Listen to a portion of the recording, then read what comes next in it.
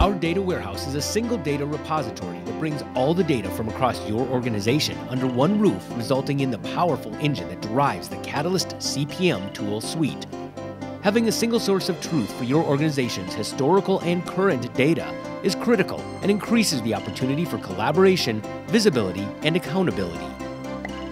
Hierarchy management has never been so exciting. Easily, business users can add and remove hierarchy levels, create new hierarchies from scratch with new attributes, rename, remove, and reorganize how they appear with simple clicks of a button. Your data dynamically refreshes and all the associated history follows.